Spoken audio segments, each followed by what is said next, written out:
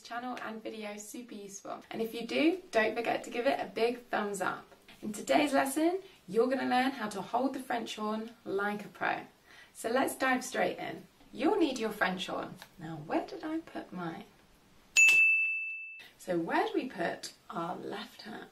So the first thing you're going to do with your left hand is place it around the main valve pipe here.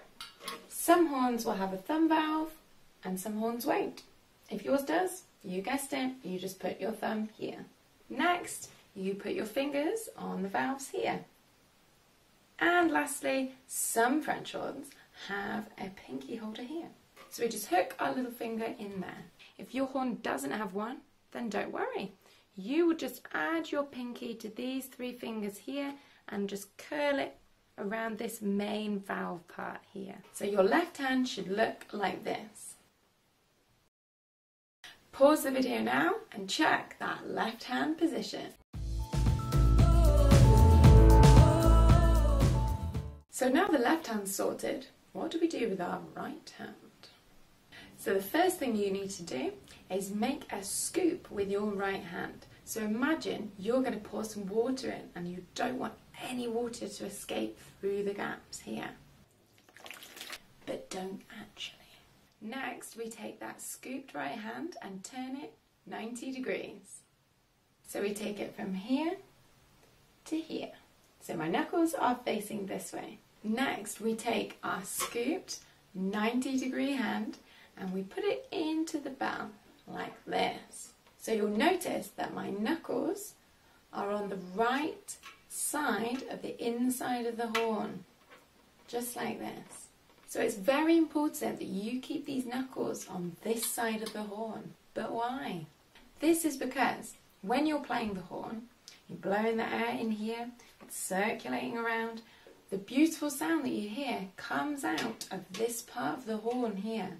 So when we put our scooped 90 degree hand into our bell and we don't keep it on this side, if it creeps over like this, it will block all that air.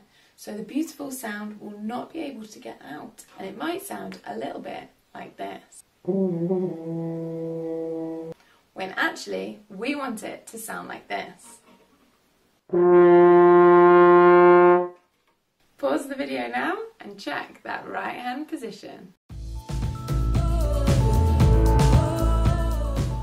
So let's do our right hand recap. First, make a scoop with your right hand. Secondly, turn that hand 90 degrees so your knuckles are facing out this way. Next, put that scooped 90 degree hand into your bell, keeping it on the right hand side so this airway is nice and open. So now we know where to put our left and right hands to hold the horn. Let's learn how to hold the horn while we're playing. First of all, make sure while you're standing or sitting up straight that you bring the horn up to you rather than you going down to the horn and slouching. This is because when you're sitting or standing up straight, you can breathe more air into the horn, which will make a better sound.